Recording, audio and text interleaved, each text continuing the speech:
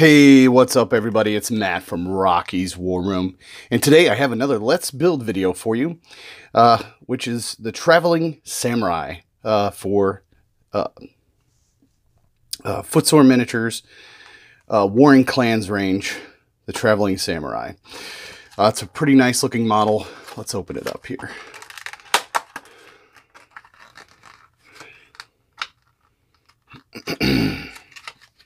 Take this this out. We got the base. And the Traveling Samurai.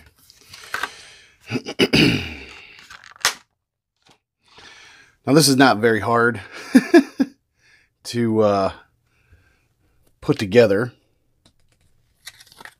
So I probably won't have a very long video for this at all. but we'll take a look at the figure here. Very nice detail. Pretty awesome looking character. I love the hat. He's got his sword. So we got a little bit of flash. We'll cut that off. I just need a good pair of clippers and some sort of CA glue. Uh, or super glue, whatever you prefer. And I'll just go ahead and build this right now. We'll have a look at it. So we'll cut off all the flash. I kind of looked over it.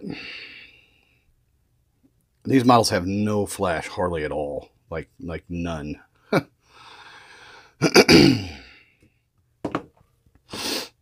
let's put some put some glue on it. Now I usually with metal models, just to get them to stick and have a something to, uh, sorry about the noise, something to uh, stick to, make it, make it grainy, makes a better connection. I will sand the bottom and put it on the base. And that, folks, is pretty much it. it's a one-piece model, um, which I like one-piece models. Not a lot to put together. Just beautiful. This whole range is gorgeous. Um, they did a really great job over there at Footsore. Uh, Andy uh, putting these together and uh, sculpting them, getting pictures out so people can see them. I mean, they're just fantastic. I mean, down to the face, you can see the detail on the face. And darn it, that it looks like I'm going to have to paint eyeballs because I don't typically do that, but but they have that extra detail in there. So just gorgeous. Even the ponytail. Oh. They're just gorgeous. So there you have it, folks. I really appreciate you watching this video.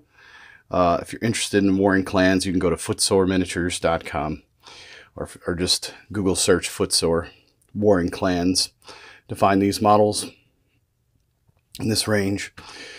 Uh, I really appreciate you watching this. If you haven't subscribed, please do. Please tell a friend. Please spread the word. I'd really appreciate it. Leave me some comments, like this video. And last but not least, from me to you, ta-ta! And we'll catch you in the next video.